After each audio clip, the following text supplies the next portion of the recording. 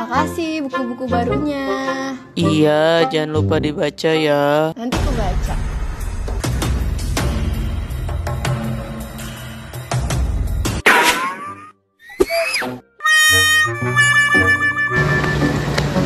Iya. Tenang dulu, tenang dulu. Aku nggak pacaran kok sama dia. Aku masih berpegang teguh sama apa yang kamu bilang. Aku nggak pacaran. Beneran deh. Vi, berpegang teguh tuh jangan sama omongan aku, tapi sama ajarannya Rasulullah, sama kata-katanya Allah. Iya sih. Lagian Vi, mau kamu itu pacaran ataupun cuma temenan, intinya kalau cewek sama cowok berdua-duaan itu kan udah termasuk khalwat mendekati zina. Makanya kenapa pacaran itu haram dalam Islam.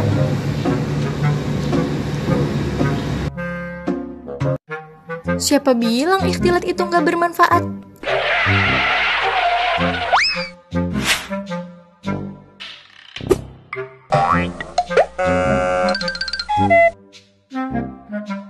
Ya manfaat banget buat mereka yang sukanya curi-curi pandang, curi-curi obrolan, sampai curi-curi perhatian. Maka jangan sampai kita berikhtilat tanpa kepentingan syari ya dear, karena itu semua merupakan gerbang mendekati zina.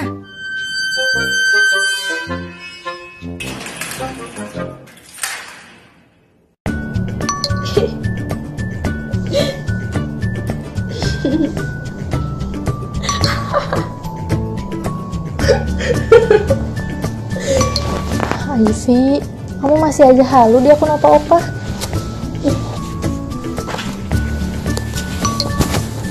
Hmm, katanya mau hijrah, tapi kok masih ngefollow dan komen di akun-akun kayak gitu? Ih, nyebelin banget sih. Bapak ngomong, bapak ngomong.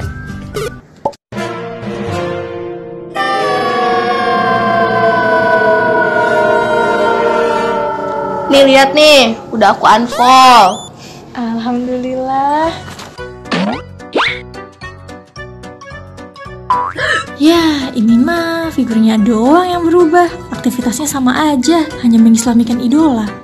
Kamu jangan gitu ya, dear. Jangan manjakan nafsumu pada hal-hal yang mendekati zina di dunia maya.